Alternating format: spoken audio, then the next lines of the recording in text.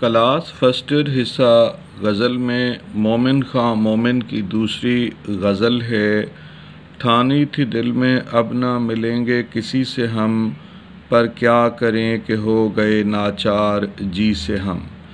مفہوم ہے دوستوں کے مابین ناراضی عارضی ہوتی ہے۔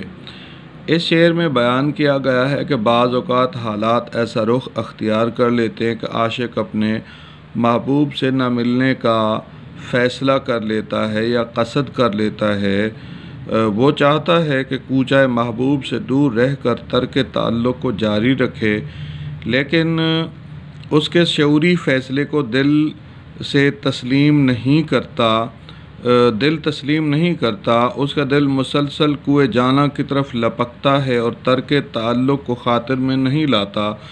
عاشق کے ترک وفا کے تمام فیصلے دل کے سامنے دھرے کے دھرے رہ جاتے ہیں۔ بقول مرزا غالب، دل پھر طواف کوئے ملامت کو جائے ہے، پندار کا صنم کدا ویراں کیے ہوئے۔ عاشق کو کوچہ محبوب سے ایسی الفت ہو جاتی ہے کہ اس کے بغیر رہ ہی نہیں سکتا۔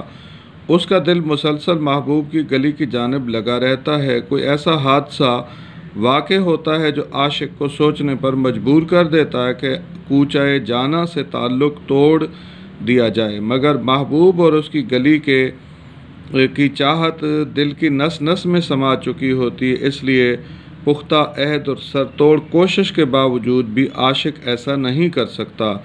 دل کے ہاتھوں مجبور ہو کر دوبارہ تعلق جوڑ لیتا ہے۔ بقول حسرت موہانی بھلاتا لاکھ ہوں لیکن برابر یاد آتے ہیں۔ الہی ترک الفت پر وہ کیوں کر یاد آتے ہیں؟ مومن خان، مومن کی مولانا فضل خیر آبادی آرزو سے دوستی تھی، جو شاہ اسماعیل کے معتقد تھے۔ آرزو اور شاہ اسماعیل کے مابین مذہبی اختلاف تھا۔ مومن اور آرزو شطرنج کھیل رہے تھے کہ قاصد نے آ کر کہا کہ آرزو کے تحریری اعتراضات کا جواب دینے کے لیے شاہ اسماعیل نے مہلت مانگی ہے۔ آرزو نے اس موقع پر چوٹ کی تو مومن نے شطرنج کی بازی ہاتھ سے پلٹ دی۔ غصے میں آ گئے۔ اس غزل کا مکتا اسی وقت کہا گیا۔ سلو ہوئی تو پوری غزل لکھ دی۔ مومن نے کہا کہ ہم نے آرزو کے رویے کے باعث کہا کہ اس سے نہ ملیں گے، مگر اب دل نے بحالی تعلق پر مجبور کر دیا ہے۔ دوسرا اس غزل کا جو شعر ہے وہ ہے ہنستے جو دیکھتے ہیں، کسی کو کسی سے ہم، منہ دیکھ دیکھ روتے ہیں کس بے کسی سے ہم۔ مفہوم ہے، محبوب یا دوست سے ناراضی کے ایام بڑے ہی تلخ ہوتے ہیں۔ مومن اس شعر میں فرماتے ہیں کہ محبوب تک نارسائی عاشق کے دل میں محرومی کا احساس پیدا کر دیتی ہے۔ محبوب کی مسلسل ناراضی اور بے رخی اسے اندر سے نفسیاتی طور پر ادھورا رکھتی ہے۔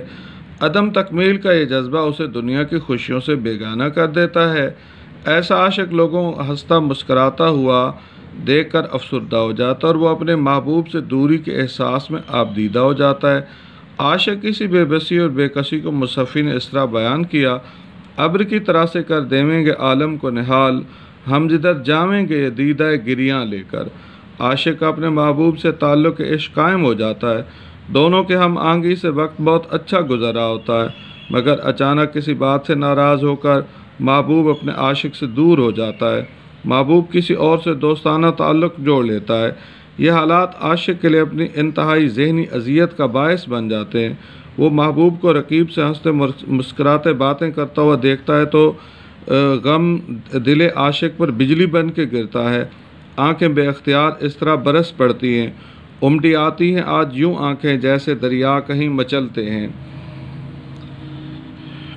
اردو شعراء کا تذکرہ آب حیات مولانا محمد حسین آزاد نے لکھا۔ ان کے مطابق مومن کا یہ کلام خاص تاریخی پس منظر رکھتا ہے، جس کا ذکر پہلے آ چکا ہے۔ اس حوالے سے شعر میں کہا گیا کہ جب تک مومن کی مولانا فضلہ خیر آبادی آرزو سے دوستی تھی ملاقاتیں محافل دعوتیں ہوتی رہتی تھیں، مگر جب سے آرزو مومن سے ناراض ہو گئے، تب سے یہ عالم ہے کہ کسی مشاعرے دعوت میں دوست کو دوسروں سے خوش کلام مصروف دیکھ کر دکھ ہوتا ہے۔ یہ احساس ابھرتا ہے جو کل تک ہمارا دوست، دلی دوست تھا۔ آج غیروں سے اس نے سلوک کرتا اور ہم اس کی عنایت سے محروم ہیں۔